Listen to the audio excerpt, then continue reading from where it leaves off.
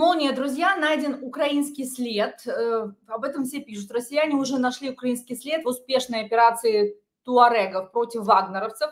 Вот, э, по сути, этот успешный как бы след. Как сообщает аккаунт War Monitor 3, по неподтвержденным данным, украинские спецназовцы якобы участвовали в засаде на, на бойцов Вагнер в Мали. В это воскресенье телеканал РТ распространил фотографии якобы украинских спецназовцев из Африки, которые готовят племена туарегов. Вот эти фото. Ну и много тут других информаций. Во-первых, десятки россиян из ЧВК Вагнера убиты или взяты в плен на севере Мали в эти выходные. Среди них пропагандист Вагнера, автор канала Zone потому что в Мали был сбит борт ЧВК «Вагнер», в котором находится создатель З-канала «Грейзон». Путин снова угрожает, если США развернут вооружение и Германия, то Россия будет считать себя свободной от моратория на размещение собственных, а, я так понимаю, ракет. Об этом заявил Путин на военно-морском флоте в Санкт-Петербурге на празднование. Почему не в Севастополе все сообщают? Все эти инсайды мы обсудим с Сергеем Жирновым. Сергей, приветствую вас. Здравствуйте, Даша, и привет всем нашим зрителям. Мы с вами планировали сделать эфир о том, как у, у Трампа странно зажило ухо, ну и об тайном звонке Белоусовой в Пентагон, но произошло то, что произошло, вот экстренные события, которые поменяли нашу повестку дня. Вообще, как вы оцениваете ликвидацию вагнеровцев в Мали и, а самое главное, то, что был найден украинский след? Ну, вы знаете, а, вот если э, где-то меня совсем не смущает украинский след, так это в Африке да, потому что э, это, и тем более в борьбе против э, такого подразделения, как, э, как Вагнер. Вот, потому что, в общем, это уже реально было. Да. Кстати, украинские ответственные лица не очень сильно это отрицали, а некоторые даже и подтверждали. То есть, по-моему, даже у, у Кирилла Буданова была такая оговорка, что типа ну, Украина там, где э, есть ее интересы, и если есть ее интересы в Африке, значит, Украина будет в Африке, какие-то проблемы-то. Ну вот, тем более, что здесь идет разговор о наемниках российских, которые э, воюют, так сказать, на стороне как бы законной власти малийской. Вот. Но мы напомним, что в этом, в этом Мали так же, как в нескольких других государствах Центральной Африки произошли военные перевороты, то есть, в общем, там э, такая военная хунта э, присутствует. Она, кстати, регулярно приезжала уже в Российскую Федерацию, в том числе на какой-то там э, форум африканский и на всякие там петербургские форумы и прочие всякие вещи. Они любят тоже ездить за российский счет. Вот. Но вагнеровцы здесь попались, потому что нужно понимать, что этот бой происходил далеко на севере Мали. Мали – это большая страна африканская, где, строго говоря, центральное руководство вообще ничего не контролирует. Потому что такое в Африке бывает. В, Африке часто вот э, те, кто э, провозглашают себя какими-то диктаторами или руководством, они сидят в столице, и, и дальше из столицы, чем на 20 километров, они выехать не могут, потому что там начинается уже э, свобода действий, там уже э, всякие группировки. И вот эта э, такая, такая ситуация существует и э, в Мали. И они а, каким-то образом оказались на севере Африки, то есть на, на границе там, с Алжиром, с Ливией там, и так далее. То есть э, э там довольно э, это далеко, это пустыня, там никого нету. И а, на территории всех этих государств нужно понимать, что живут а, кочевые племена туарегов, вот, которых, в принципе, даже нельзя относить к арабам, то есть они не семиты, они отдельное, отдельное ответвление этническое. Вот, и у них нет собственного государства, и, в общем, они ведут много-много лет борьбу за вот примерно как курды в, э, значит, в Турции, в Ираке и в Иране, у которых тоже нет государства, и которые хотели бы организовать свое государство, потому что они разбросаны по границам, на границах э, сразу нескольких государств. Вот. И зачем туда поехали э, эти самые вагнеровцы, что там понадобилось центральной власти малийской устанавливать, скорее всего, просто это вот такой контроль, типа, за своей страной, то есть, может быть, там хотели какую-то какую заставу сделать, там, КПП поставить, чтобы пропускать, потому что там еще Э, большой трафик идет, надо понимать, что э, там людской трафик идет в сторону Европы, вот, который приносит большие доходы, вот, потому что люди уезжают э, на север, чтобы потом через Средиземное море переправляться в Европу, богатую, и получать там социальные пособия. Вот. Я так думаю, что вот ради этого они туда, туда поехали. А, но попались, то есть имеется в виду, что они, в общем, довольно снисходительно сверху вниз смотрели на все эти племена, и это ошибка та же самая, которая была у Советского Союза по отношению к Афганистану да, потому что это не, вот то, что эти люди живут в первобытно-общинном строе, не означает, что они плохо воюют. Они, наоборот, иногда лучше всего воюют, если дать им в руки современное оружие, то они, получаются гораздо большие воины, чем просто это, там эти сопливые пацаны 18-летние, которые были в Советском Союзе. Вот. Ну и даже эти вагнеровцы, которые, в общем, надувают щеки, потому что э, в Африке, я вам напомню, что Вагнер э, практически нигде не воевал э, реально, э, потому что Вагнер, просто они выступали как либо бодигад, э, значит, э, охранники для диктаторов, либо выступают как инструкторы, э, но которые сами не воюют чаще всего. Вот, поэтому это очень выгодная позиция. Вот, и э, я вам напомню, что когда Вагнер начал воевать в реальной войне, э, то, во-первых, его там Соединенные Штаты Америки в то время в Сирии разбили группу вагнеровцев, там тоже порядка 80 человек э, просто в, в прах разбили. Вот. И потом э, вагнеровцы, когда воевали в Украине, э, то они положили там столько э, тел, э, что, в общем, э, создавался все-таки законный вопрос, а умеют ли они вообще воевать. Вот. Ну и Пригожин поэтому получил возможность э, забирать людей из тюрем, и их просто не жалели, их просто там тысячами пускали на мясные штурмы. Вот. Здесь для вагнеровцев это неприятная штука, потому что они реально были застигнуты врасплох, они понятно, что, в общем, ничего не могли сделать. Это, а, по идее, вроде это их э, такая среда, потому что они любят говорить, что вот мы там по пустыням бегаем, там Сирия, там Ливия, Э, Центральная Африка. Ну, вот, а здесь, как выяснилось, что против каких-то там, ну, условно, туарегов, хотя они совсем даже не какие-то не условно, они настоящие воины, они в, это, они в этих местах, там, я не знаю, много тысяч лет э, ходят по этой пустыне, они там знают каждый клочок, они умеют воевать в этих местах, вот, а вагнеровская на, на самом деле не умеет.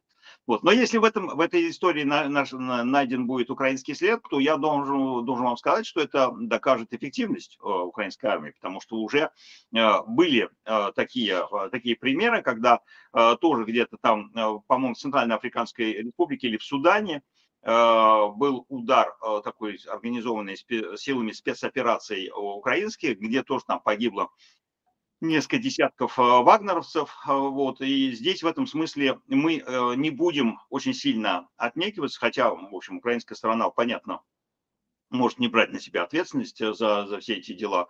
Вот, ну, э, э, строго говоря, вот здесь меня совсем ничего не смущает, потому что был бой, это военная операция, погибли военные, вот там не было никаких местных жителей, там не было никаких, что называется, боковых потерь, как это по-английски collateral damages, да, то есть э, э, случайных людей, которые просто попали под перекрестный огонь бельжерантов, вот, и поплатились своей жизнью. Здесь явно совершенно это был просто бой, это была засада, расстреляли колонну вагнеровцев и там говорят от цифры пока что очень, очень странно, очень странные, вот, от 20 до 80, но э, все телеграм-каналы вагнеровские все-таки подтверждают.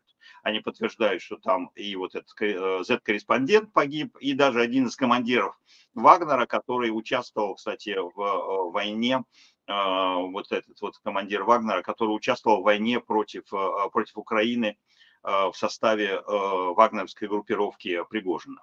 Вот, так что это, конечно, существенное поражение Вагнера, и э, в этом смысле э, это хорошая новость для Украины. Да, я хотела бы еще, вашей аудитории, попросить вас поставить лайк этому видео, напишите в комментариях вашу оценку. Мы с Сергеем очень внимательно читаем комментарии, даже острые комментарии. Вот пишите, нам интересно ваше мнение, напишите, а, откуда вы нас смотрите, из какой страны, из какого города. Мы знаем, что а, у нас очень широкая аудитория от Казахстана, стран СНГ до Америки, Канады, Австралии. Пожалуйста, поставьте лайк, подпишитесь на YouTube-канал Сергея Жирнова и подпишитесь на мой YouTube-канал. Сергей, тут еще появилась новая информация о том, что вот этот, э, этот скриншот. Информация следующая, что, значит, туареги, которые воюют против Вагнера, Они предложили Украине пленных русских наемников в знак поддержки и солидарности. Эта информация требует проверки. Но вот этот пост, э, как вы оцениваете эту информацию, как разведчик прежде всего? Вот это интересная информация, потому что э, вы понимаете, что, в общем, э, обменный фонд Украины России не, одна, не, э, не, не примерно неравного, неравного состава. То есть у, у россиян больше пленных украинцев, чем у украинцев пленных россиян. И поэтому каждый пленный россияне, а тем более вагнеровцы ценятся в Российской Федерации, на них можно обменять там пятерых украинцев, и, в общем, за одного вагнеровца можно выменить довольно много бойцов Э, которые были э, взяты в плен в, э, на украинском фронте. Вот, и по этому поводу это интересная новость. Ее, конечно, надо проверять и перепроверять, потому что вы понимаете, что каждый, каждый канал пытается сделать скуп из этого дела, значит, сенсацию. Все да. добавляют немножко своего, многие, некоторые вещи могут там выдумываться. Вот, но тем не менее, так сказать, два на ум пошло, посмотрим, правда это или неправда. Вот, и опять же, здесь самое главное, что я скажу, что меня это совершенно не смущает. То есть, если э, такая торговля произошла, то и слава богу, и таким образом Украины пополнился фонд обмена, и таким образом можно будет там обменять на большее количество украинских пленных, которые содержатся в России в жутких совершенно условиях. Финализируя эту тему, вот еще раз покажем э, автора канала Грейзон, э, пропагандист Вагнера. Именно он погиб потому что он находился в этом борту ЧВК «Вагнер», который был сбит в Мали.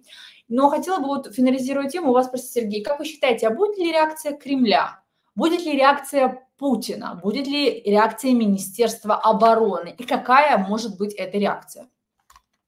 Не, я думаю, что ничего не будет, никакой реакции, потому что там нет эм, американского империализма. Путину обязательно нужно НАТО какое-нибудь, там нужны какие-нибудь французы, э, нужны американцы, а там не было никаких американцев, там были туареги.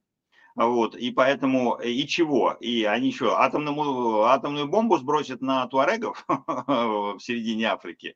То есть чем, чем они отвечать-то будут? И у них, у них не хватает, э, так сказать, численного состава для борьбы э, на фронте украинском, а чего, они еще будут туда посылать кого-то? Да не будут, ничего не будет, никакого ответа.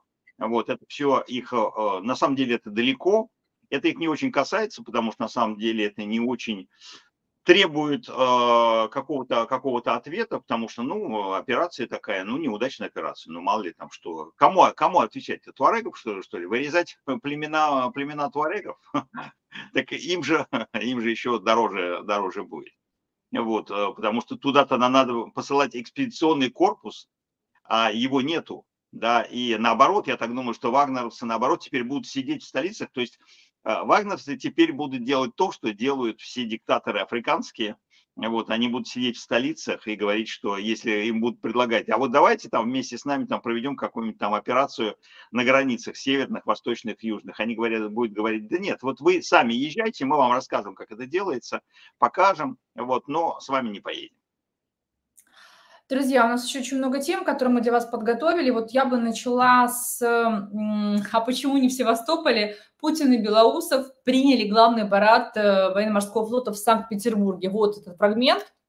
В составе военно-морского флота корабли ну и так далее. И, значит, все обсуждают, во-первых, коммуникацию э, Лукашенко с Путиным на Валааме, что они там провели несколько ночей, несколько дней. И вот военно-морской флот, э, почему не в Севастополе, в Санкт-Петербурге, и Путин снова угрожает, потому что мы знаем, потому что США приняла решение в 26 году разместить томогавки в Германии, и вот если в США развернут вооружение в Германии, то Россия будет считать себя свободной от моратория на размещение собственных, заявил Путин, выступая на параде ко дню военно-морского флота в Санкт-Петербурге. Сергей, как вы оцениваете вообще парад? Уверена, что вы смотрели и заявление Путина.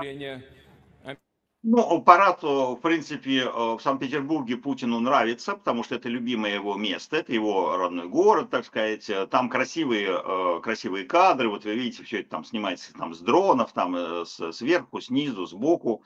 Вот, хорошая погода, вот, красивый город, красивая Нева. Э, это Путину нравится. Э, Путин явно совершенно человек э, с плохим детством, который не наигрался в солдатики в детстве. Вот, и поэтому он любит играть в солдатиков значит, на парадах. И парады, как вы обратите внимание, ему удаются гораздо больше, чем, чем война реальная. Вот. И это самое главное, что из этого можно сделать, так если по-серьезному анализировать, что, во-первых, в прошлом году на этом параде было 50 судов, в этом году там было, по-моему, 27 всего только. Вот, э, э, украинская сторона, естественно, подметила, что на этом параде не было ни одного судна, которые россияне говорили, что якобы уцелели в результате украинских ударов, то есть на самом деле косвенно подтвердили э, те потери Черноморского флота, которые Российская Федерация потеряла получила, понесла в, в Черном море. А вот, кстати, это, эти парады происходили одновременно одновременно в пяти местах, то есть они происходили на Северном флоте, они происходили в Балтийске, вот здесь э, в Питере, они происходили во Владике, по-моему, вот, э, и еще в Сирии, значит, э, Тартус, военно-морская база сирийская, ну там пара катеров и пара чего, чего-нибудь там проехала. Вот. Но самое главное другое, что парада не было в Севастополе, как вы правильно говорите, парада не было на Черном море. И не только в Севастополе, они могли провести парад в Новороссийске, но они не решились проводить, или в Туапсе они могли провести, да, в Сочи могли провести, в Адлере. Вот, ничего, они решились просто потому, что они же понимали, что если они будут проводить там, пытаться проводить парад, то туда просто прилетит э, что-нибудь из Украины или приплывет что-нибудь из Украины, весь парад будет скомкан, вот, а не дай бог там еще даже потопит прямо на параде несколько судов. И поэтому это было, кстати, признание силы украинской, э, у которой на самом деле нет серьезного военного флота. Да, вот это, это безусловно, интересная вещь, э, потому что это абсолютно путинская шизофрения. Но еще если говорить там про Питер, то Путин, значит, там в этом своей речи говорил, все время вспоминает Петра, потому что с Петра э, пошла российская морская держава. Он, считается, прорубил это окно в Европу, он строил э, военно-морской флот российский, считается, да, вот, но одновременно Петр является антиподом Путина, потому что Петр был абсолютным адептом Запада, Э, Петр сам считал себя западным человеком, одевался в западное платье, получил все свои знания в западном мире, пригласил из западного мира инженеров, торгашей и, э, и э, наука, и, и ученых, брил российские бороды, переодел, заставил всех снять российские восточные кафтаны и одеться всем в западные одежды, вести западный образ жизни, построил западный город значит, на берегах Невы, и в этом смысле э, Петр абсолютная противоположность Путину. Но, э, и поэтому Путин, кстати, э, и плюс Петр это 2 метра роста, а Путин это, значит, старый пердун 162 на каблуках. Вот, и поэтому он с одной стороны, постоянно всегда гордится, значит, Петр, Петр, великий Петр, а на самом деле э, Путин делает все противоположное Петру. И Петр – это укор Путину. Вот так надо развивать страну, вот так надо общаться с Западом. И нужно с Западом Э, конечно, можно с ним воевать иногда там и э, одерживать победы, но в остальное время у Запада надо учиться, Западом надо торговать, Запад надо копировать, Запад надо, потому что он цивилизованнее, он э, более развит и так далее и тому подобное. Вот. Ну вот эта история, то, что он там погрозил, вы очень правильно процитировали, потому что самое ключевое слово в том, что вы процитировали, это слово «если». То есть вся эта история начинается со слова «если». Если американцы в 26 году чего-то там разместят, говорит Путин в 24 году, то есть за два года до того, как все это дело произойдет, то он говорит, то мы надуем щеки и что-то там будем делать. То есть, во-первых, американцы ничего не разместили, раз. Только собираются еще размещать, два. До этого еще надо дожить, три.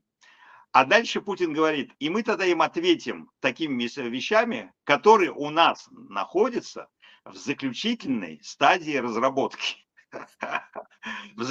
Ну, а про заключительную стадию разработки танка э, «Армата» мы у Путина уже видели много лет, да, вот, и где э, этот танк «Армата», который находился в заключительной стадии, и которым должны были э, тысячами «Армат» э, задавить э, бедных украинцев, значит, в 24 году, мы, э, или там в 22 году, вот, так что это, в общем, разговор ни о чем. Вот то, что э, Путин, э, у меня вчера, кстати, был эфир на э, моем французском канале LCI вечерний, ночной, вот, я им сказал, вот это единственная речь путинская за последнее время, которая меня вообще не напрягла, потому что это просто разговор ни о чем. да, потому что если американцы что-то делают, то мы надуем щеки, вот, но надуть щеки у нас сейчас не получается, потому что у нас то, чем мы грозим у американцам, у нас этого еще даже нету. И мы только еще собираемся это создать. То есть это вообще очень смешная штука. Я над ним очень глубоко посмеялся вчера э, э, на французском телевидении. И надеюсь, нас посмотрело да, довольно много французов и поняли, что, в общем, это просто такое надувание щек. Причем, э, как всегда, э, подчеркиваю, э, в каждый раз, когда удается это сделать, что каждое упоминание Путина про ядерном оружии – означает, что у него какие-то потери и э, недостатки на э, фронтах обычной классической войны э, в Украине, которую он не может э, завоевать уже два с половиной года. Да, уважаемые аудитория, тут у нас будет еще одна тема, на которую я прошу, чтобы вы отреагировали. Напишите в комментариях ваше мнение по этому поводу. И тут, конечно, без разбора блестящего Сергея мы не обойдемся. Значит, э, я покажу, сейчас без звука, значит, Белоусова министра обороны нового, вот, а Шойгу и Патрушеве можно забыть. Хотя Патрушев-то кораблестроением занимается, судостроением. Не хватало мне этот комментарий Сергея Жирнова, он должен был об этом сказать. Ну, в общем, значит, Белоусов. Спасибо. Спасибо, Даша, спасибо, Даша, обязательно. Вот мы скажем, да, мы скажем, что, а где здесь помощник э, товарища Путина по судостроению? Почему? Морской флот, вот он, значит, э, там Патрушев должен ему советовать, сколько там новых судов э, построить, а почему-то Патрушева нету опять. Да, спасибо, Даша, я собирался это сказать, и я собирался еще вам сказать э, еще одну штуку. Значит, э, смотрите, э, Путин все время говорит, что мы там выступаем, значит, за э, величие российское, там, Петра Первого, значит, и так далее. И вот во время этого парада опять все вспоминали, что в российском флоте, сейчас военно-морском, кораблем номер один считается крейсер «Аврора». Крейсер «Аврора», который ударил по Зимному дворцу, то есть по законной власти э, Российской империи, разрушил. В результате получился государственный переворот, в результате началась гражданская война, перебили много миллионов э, во время гражданской войны сами своих своих россиян.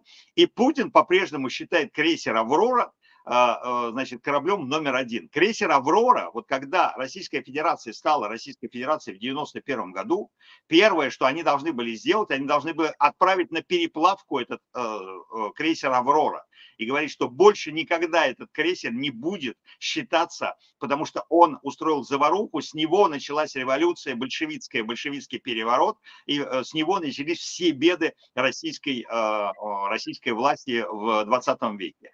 Они по-прежнему с этим крейсером «Аврора» значит, э, носятся, облизывают его, водят туда пионеров каких-то, какие-то сумасшедшие коммунисты туда еще ходят, вот, но Путин его не разрушает, точно так же, как он не, не выносит тело Ленина, он все боится, что э, что-то из-за этого произойдет. Хотя, на самом деле, в Российской Федерации, когда э, Владимира Ильича вынесут и, наконец, похоронят с, э, по христианским обрядам, то, может быть, какое-то проклятие над этой страной прекратится. И вообще, когда из Красной площади перестанут делать кладбище большое, то, может быть, что-то изменится в Российской Федерации. Вот это последнее, что я хотел бы добавить. Но ваше добавление про Патрушева зачтено. Вам зачет поставлен, Даша. Это, это классное совершенно дело. Спасибо. Спасибо. И я думаю, все зрители наши тоже оценили наш с вами сарказм и тонкий юмор.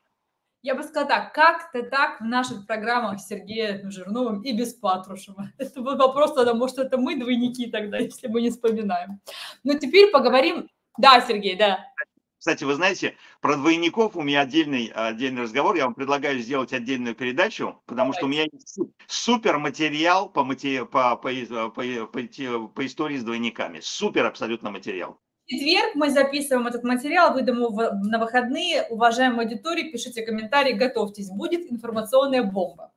А пока значит, мы возвращаемся к Белоусову. Почему вдруг мы к нему вернулись? Значит, на выходных я пожалела, что мы с Сергеем, конечно, в этот момент не были, не писали стрим. Значит, на, на выходных Нью-Йорк Таймс вышел с информацией о том, что Белоусов, мужчина слева, который сидит министр обороны, в срочном порядке звонил Ллойду Остину из-за тайной операции Украины против России на территории России, которая готовилась. Значит, Белоусов сказал условно Ллойд Остину следующее. А ты знаешь, Остин, что украинцы готовят тайные операции с использованием американского оружия на территории России? Мы в шоке, немедленно позвони украинцам и скажи, что если они это будут делать, будут последствия. Ну и далее Нью-Йорк Таймс приводит значит, следующий текст, что Ллойд Остин в срочном порядке позвонил в офис президента и сказал, что если вы готовите тайные операции с использованием американского или любого другого оружия, этого не делайте. Сергей, я хотела бы, чтобы вы прокомментировали эту новость, которая пошла на первой полосе Нью-Йорк Таймс. Ее подхватили все, мол, Белоусов звонил в истерике Остину, и Остин отреагировал. Как вообще вы к этому относитесь? Да, я к этому отношусь э, вполне серьезно, потому что действительно такой разговор был, и действительно это была истерика, потому что украинцы, я вам объясню, что это была за операция. Э, украинские э, э, силы специальных операций, извините за тавтологию, э, еще раз нанесли удары по аэродрому стратегической военной авиации, то есть по Энгельсу-2 и по Дягилево вот, подтвердив таким образом уязвимость российских стратегических сил а, ядерного сдерживания а, в войне а, против Соединенных Штатов Америки. Поэтому это, это был, значит, была истерика в Кремле, была истерика на Арбате, была истерика на Фрунзенской набережной, вот, потому что все, что касается э, ядерных сил, это для них такой, э, такой табу абсолютное. Вот, а украинские силы операции им все время показывают Путину, что ты, ведь почему ты себя так хорошо чувствуешь? Вот, если вы посмотрите на Путина, он же всегда уверен в себе. Да, он говорит, да, мы там что-то проигрываем, но у него есть ощущение, что у него есть ядерное оружие, которое его э, спасет от чего-то. И когда украинцы бьют по а, аэродромам, где находится стратегическая операция, э, авиация, больше того, вы помните, на прошлой неделе еще была такая новость, которая прошла, ее обсудили, но с моей точки зрения очень мало обсудили, потому что был удар по этому самому, э, по аэродрому аж прям под Мурманском. То есть на самом севере, а это туда, куда они отогнали все эти тушки, которые раньше были в Энгельсе. Вот, а, и по нему тоже был, а, значит, э, был удар, вот, а, и это, значит, означало, что украинские силы специальных операций нанесли удар по трем аэродромам стратегической ядерной а, авиации Российской Федерации. То есть это главная составляющая триады российской на, наравне там, с э, баллистическими ядерными ракетами, э, которые стартуют из шахт, и с ракетами, которые запускаются с подводных лодок, из кораблей.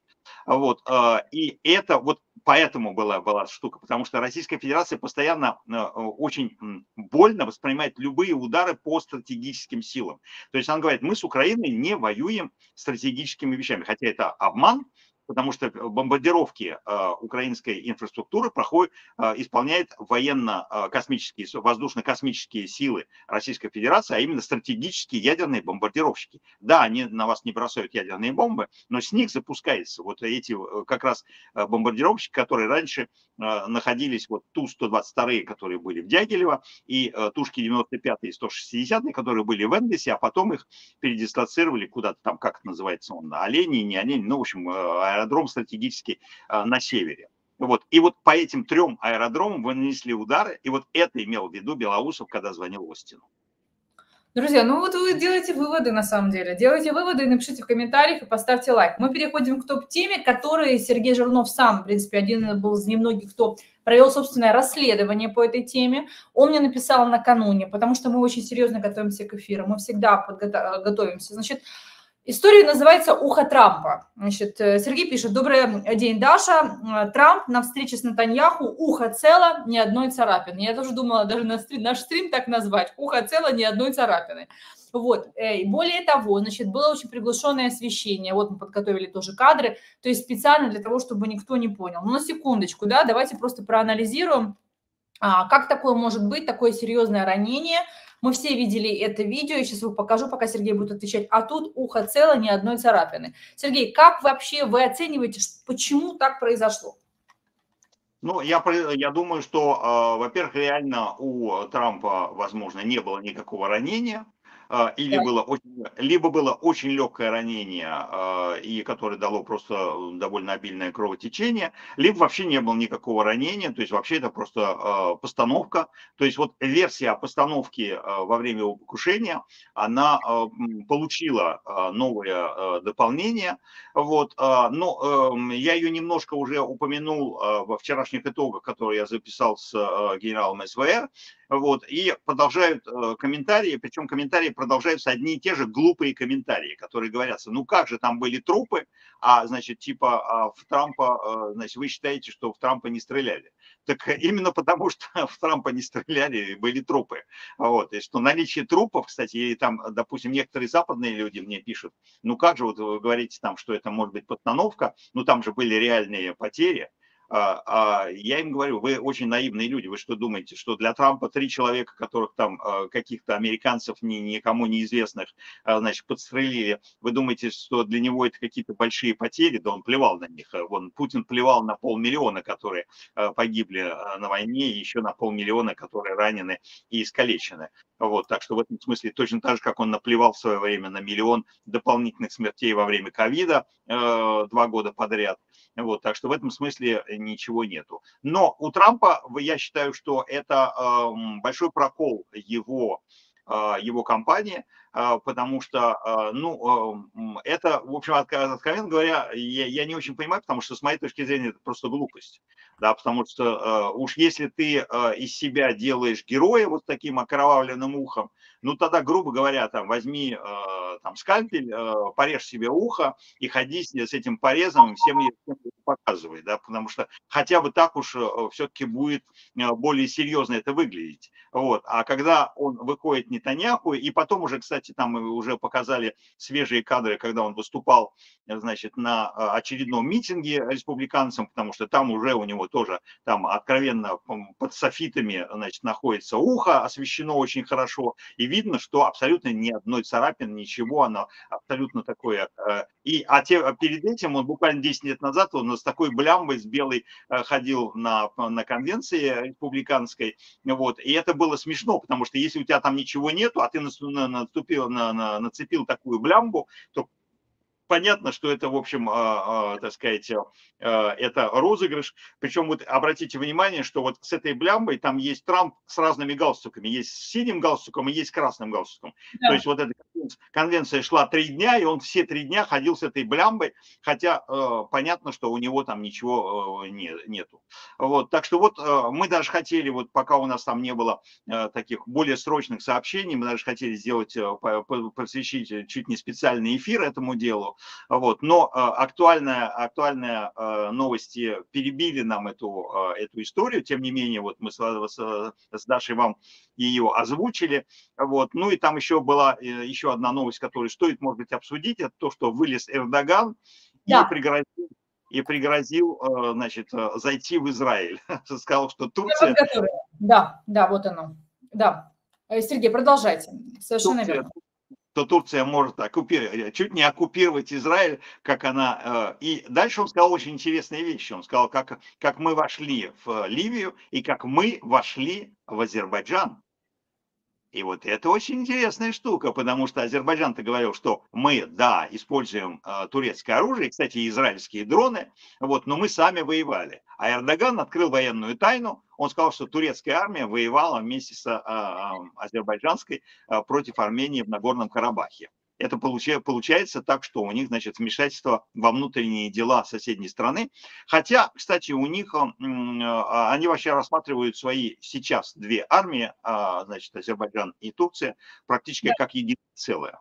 Да. Вот. Но это заявление громкое, вот его тоже все обсуждают, вот, тем более, что Нетаньяху срочно вернулся в Израиль, потому что был удар Хизбаллы по северу, а, северу Израиля, и там вообще идет разговор о том, что, возможно, будет открыт второй фронт, что начнется война а, либо с Ливаном, либо с Хизбаллой, вот, либо с Ираном прямо напрямую. Вот, и поэтому, конечно, это такие вещи, мимо которых мы с вами пройти не могли. Вот. Но это заявление Эрдогана, это такое все-таки больше трипология, потому что он старый диктатор, который потерял проиграл на муниципальных выборах в прошлом году, значит, в нескольких городах Турции власть получила, получила турецкая оппозиция. Вот. Ну, Эрдоган уже даже в прошлом году, кстати, после атаки на Израиль и ответа израильского Хамасу, уже говорил такие хлебские фразы, типа мы там отомстим там, и так далее. То есть он такой, надо напомнить, что он все-таки исламист, причем довольно активный исламист из исламистского братства.